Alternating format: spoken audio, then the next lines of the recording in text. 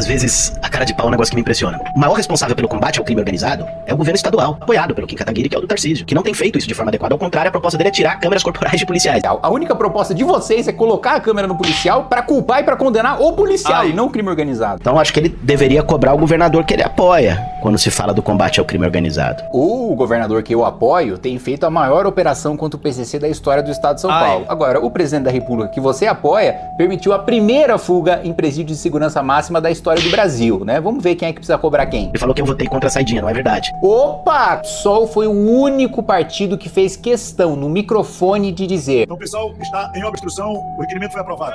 que cara de pau, tem registro público, tem vídeo. De- depois o cara de pau sou eu. Justamente para evitar que eu faça esse tipo de perguntas em rede nacional que querem acabar com a minha pré-candidatura. Por isso eu preciso da ajuda de vocês para espalhar esse tipo de conteúdo, pra gente garantir que vamos estar nos debates de televisão desmascarando gente mau caráter com Guilherme Boulos.